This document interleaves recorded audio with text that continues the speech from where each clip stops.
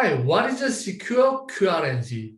The insecure QRNG can produce a secure random number by using uncertainty relation in quantum theory. If uncertainty on one measurement is very low, then uncertainty on another measurement is very high.